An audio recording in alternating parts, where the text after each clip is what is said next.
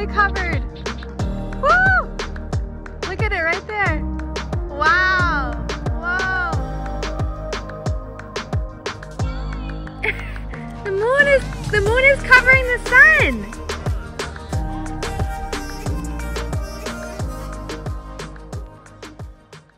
All right, we're back from viewing the solar eclipse. Our neighbors had extra glasses. I was not prepared. So there's a few breaks where we could see the eclipse more clearly when the sun was shining. But it was very neat to see just the overall lightness go from light to dark and then back to light.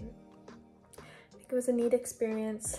I'll have to let you know in the comments if you got to see any of the eclipse where you live. I do not think that it's happened, like a total eclipse has happened in this area, at least for a few hundred years.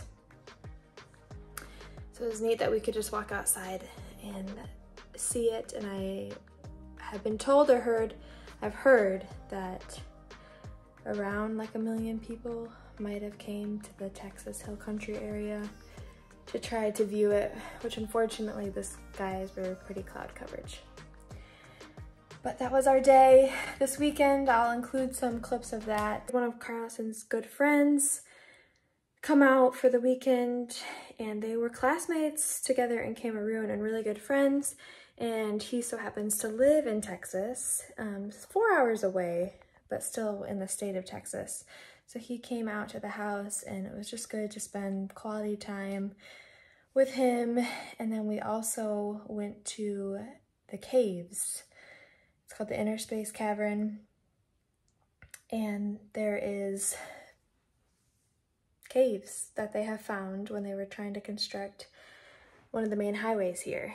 And so we went on a cave tour and walk and it was very busy and populated.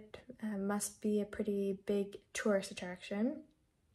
I'm kind of claustrophobic and I don't love being under things. So it was a little fearful for me and Carlson too.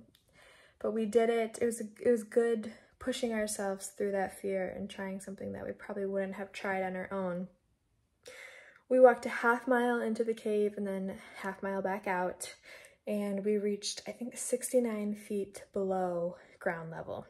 And we got to see lots of different formations and there was parts where it was very shallow and you had a duck and then parts where it completely opened up where there were some pools of water, things like that.